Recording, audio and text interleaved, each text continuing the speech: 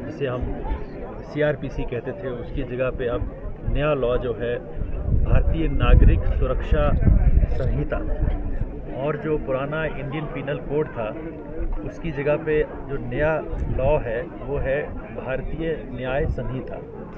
और जो पुराना लॉ था इंडियन एविडेंस एक्ट उसकी जगह पे है भारतीय साक्ष्य अधिनियम। तो ये पुराने लॉज को जो अंग्रेज़ों के ज़माने के थे, अब एक मॉडर्न जो लेटेस्ट लॉज जो हैं, वो पार्लियामेंट ने हमारी फ्रेम किए हैं। और ये तीनों लॉज जो हैं, ये फ़र्स्ट जुलाई से सारे देश में लागू हो जाएँगे।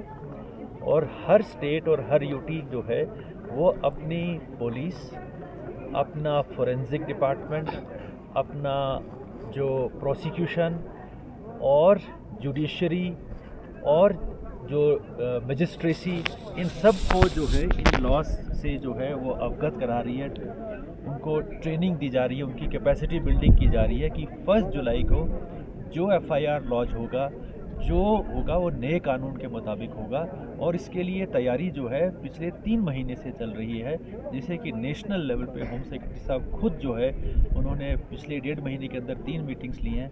हमने भी लगभग छः के करीब मीटिंग ली हैं। और जुडिशरी को इसमें क्लोजली जो है वो हमारे साथ हैं और इसमें जुडिशरी भी जो है वो हमारे साथ जो है हम उनसे भी कांटेक्ट में हैं और रजिस्ट्रार जो हाई कोर्ट के हैं और जो हमारे यहाँ की जज हैं वो भी मेंबर हैं उस कमेटी की तो ये तैयारियाँ जो हम कर रहे हैं और आज हमने अपनी पुलिस को 40 परसेंट जो हमारा स्टाफ है उसको हमने ट्रेन कर दिया है जो हमारा C C T N S एक सिस्टम है जिसे हम crime and criminal tracking and network system कहते हैं उसको जो है अपग्रेड किया कर दिया गया है। उसमें जो नई कानून के मुताबिक जो नई चेंजेस लानी थी वो कर दी गई हैं। एस जो है उसको अपग्रेड किया गया है जो जुडिशरी करती हैं। और आज हम जो, जो ये जो आज का दिन है यहाँ ऑनरेबल जस्टिस जज हाई कोर्ट श्री अतुल श्रीधरन जी आए हुए हैं। और साथ में हमारे देश के जो एक्सपर्ट्स हैं इन दोनों में advocate mister T V Chandra ji हैं, दूसरे भी एक है मिस्टर उनका नाम भी चंद्र है।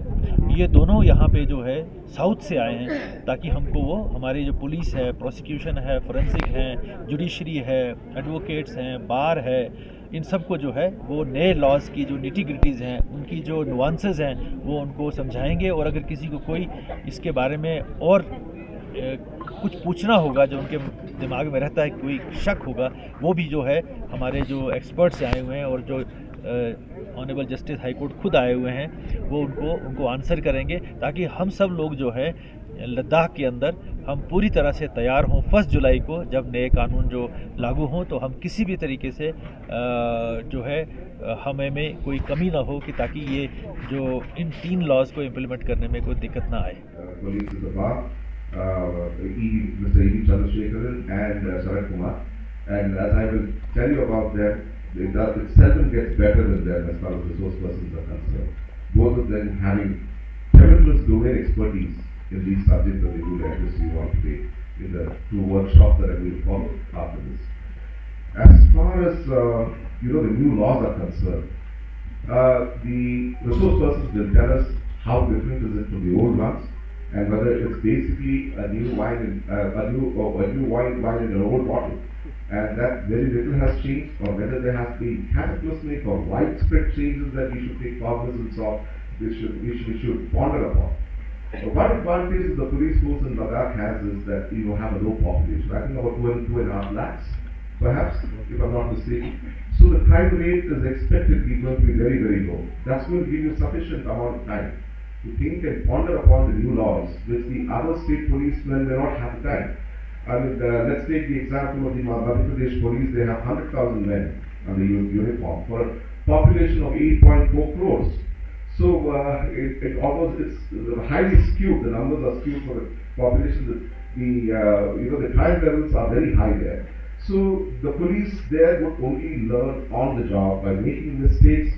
That is something that would be far lesser for you. You would have time to assimilate the knowledge that is going to be given by, the, both the uh, resource persons, go through the laws, which even I as a judge have not have had the opportunity because there's a problem with judges. We go through laws only when the case is covered before us, we don't have the time otherwise.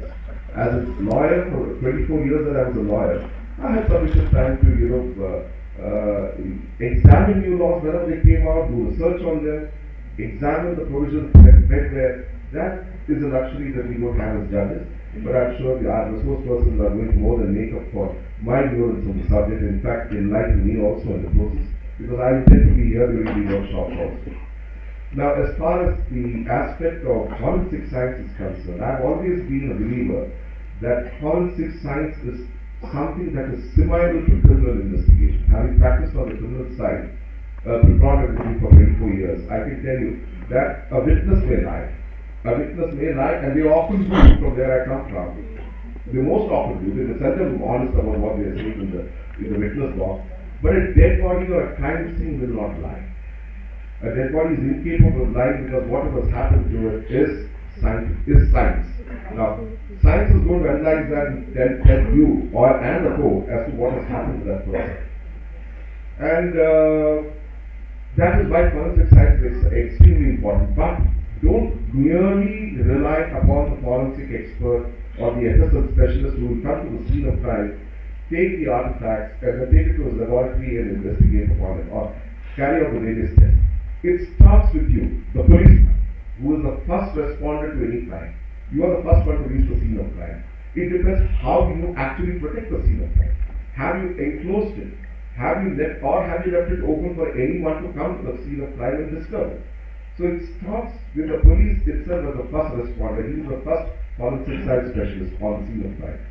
And then the way he, until now what used to happen was that the policeman himself was collecting the artifacts.